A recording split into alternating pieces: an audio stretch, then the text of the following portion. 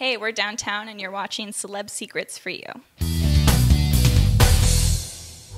in your heroine, didn't know how to tell you, then deep in ugly world. Yeah, actually, when we first started writing it, I thought I was just making up a story. Like, oh, this is, I want to make this interesting story about this. And then um, the line kind of just came out, could have been your heroine. I was like, whoa.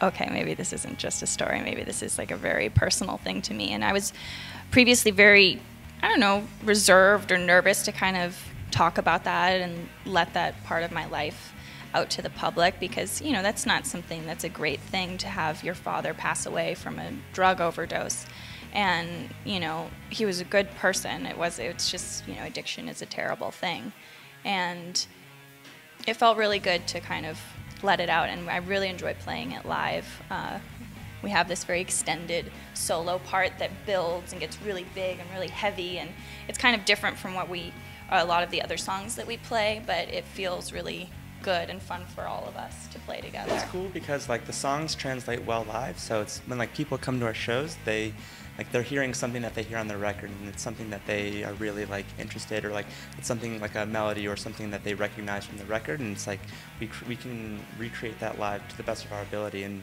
I think the fans really like that and sometimes we'll even add a little extra like that kind of Yeah. extension in Heroine and it, it kind of just adds another element for like the live shows. Can never bring 'em back to you. Sorry, ma, I wanted to just a little girl. Well, um, Robert and I went with our friends to Europe, and while we were there, we were thinking it would be cool to kind of either film something or do something that we could come home and uh, turn into a DWNTWN product, I guess you could say. Yeah, because every backdrop in Europe is just like this million dollar, or like just a beautiful landscape. Or like we should film something here, take advantage of it while we have it. And we'd never expected Heroine to be the song that would end up being like our most popular song on Spotify and things like that. So we thought, okay, we'll just, we'll, for ourselves, we'll make a video for Heroine just for fun, kind of. And it ended up being like our top song, which is, you never, you just never know, but it's cool. And we just filmed it all with an iPhone and a one dollar app. That's like Yeah.